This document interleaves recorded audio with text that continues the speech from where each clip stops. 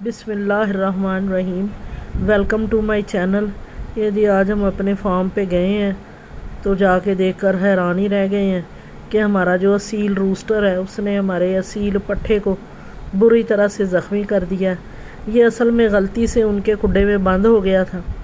तो इसी के माँ और बाप ने इसे मार मार कर उधेड़ दिया और चूज़ा हमारा शदीद ज़ख्मी हो गया। इसका इतना बड़ा ज़ख्म है अंदर से इसकी हड्डियाँ तक नज़र आ रही हैं। तो संडे था, हम फ़ौर हमने अप्रोच किया कि इसको वेट डॉक्टर के पास लेके जाएँ। ना तो हमें सरकारी सतह पर वेट डॉक्टर का मिला और ना ही प्राइवेट क्लिनिक में, क्योंकि संडे को अक्सर डॉक्टर छुट्टी करते हैं। अब इसके ज़ख़म काफ़ी बड़ा था, इसको ऐसे खुला तो नहीं छोड़ सकते थे रात रात में कुछ भी हो सकता था। फिर हमने सोचा कि घर में ही इसका इलाज करें। हमने घर में आम सुई धागा जो पड़ा है उसी को स्टेलाइज करके उससे हमने इसकी स्टिचिंग की, पहले इसके ज़ख़म को साफ़ किया और इसको ब्रूफन पिलाया ताकि इसको कम से कम तकलीफ़ महसूस हो। फिर हमने इसके स्टिचेस लगा दिए और ज़ख़म को अच्छी तरह से सी दिया। फिर हमने इसको कुडे में छोड़ा कि लिली भी आ गई है और कहीं इसको कोई और जानवर या परिंदा तकलीफ़ ना पहुँचाए। हम इसको घर में लेके आके कुड्डे में छोड़ दिया मुर्गा तकलीफ़ में था और अपने पाँव पे इसको बैलेंस करना मुश्किल हो रहा था। हमने इसको बाहर निकाला है और मेडिकल स्टोर खुले थे, वहाँ से जाके बता के उनको वहाँ से पेन किलर लेके आई हैं।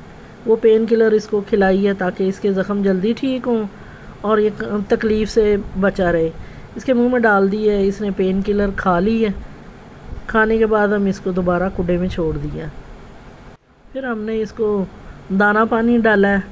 लेकिन ये इतनी तकलीफ़ में है, ना तो इससे बैलेंस हो रहा है अपना बॉडी का, और ना ये दाना खा रहा है और पानी पी रहा है। हमने इसको दाना पानी फ्रेश ऑफ़र किया है, लेकिन तकलीफ़ की वजह से इसने कोई चीज़ नहीं खाई। जो जो मेरे चैनल पर नए हैं प्लीज़ लाइक शेयर और सब्सक्राइब करें।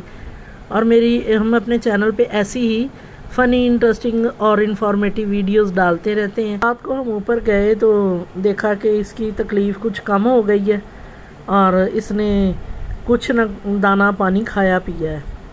फिर हम इसको नोटिस करते रहे, लेकिन ये पहले से माशाल्लाह माशाल्लाह स्टेबल है। पिंजरे के सहारे से खड़ा भी है, दाना भी खा रहा है, पानी भी पी रहा है।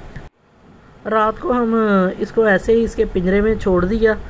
तो अगले दिन जब हम ऊपर गए हैं तो हमने इसको पिंजरे से बाहर निकाला है तो बहुत फ़र्क पड़ गया है मेडिसिन की वजह से, इसके ज़ख़म की सफ़ाई की वजह से, और जो हमने इसको पेन कलर दिया, ब्रूफन भी पिलाया उससे इसका ज़ख़म खुश्क भी है, और ब्लीड भी नहीं कर रहा, और जो इसका गोश्त है, वो मिलना भी शुरू हो गया है। इसके ज़ख़म की सफ़ाई का अब हम ख़ास ख्याल रखेंगे। अगर हम ख्याल नहीं रखेंगे तो कीड़े पड़ने के चांसेस हैं। जो हम बिल्कुल भी बर्दाश्त नहीं करेंगे जो मेडिकल वाइप है और पायोडीन से बार बार हम इसके ज़ख़म की सफ़ाई कर रहे हैं।